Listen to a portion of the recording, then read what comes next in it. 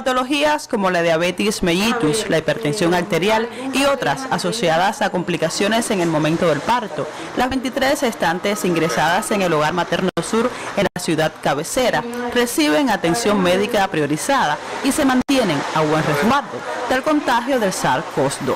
Utilizamos nasobuco el día entero, nos los cambiamos cada tres horas, no recibimos visitas, ni ningún alimento tampoco. Todos son los alimentos aquí que, nos, que se consumen aquí mismo dentro del centro.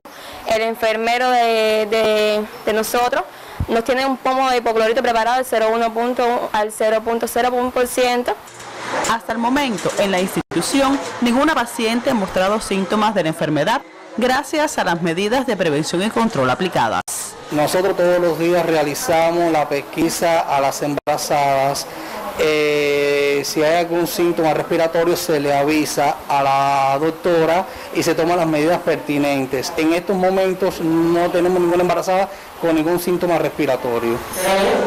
A pesar de las regulaciones, aquí se cumple con el programa de atención a las embarazadas. Mediante charlas, conversatorios, conocen los riesgos de contraer enfermedades no transmisibles, además de ampliar sus conocimientos acerca de la gestación, el parto, la lactancia materna entre otros temas que hablan en positivo a favor de la calidad de vida de las estantes y su bebé.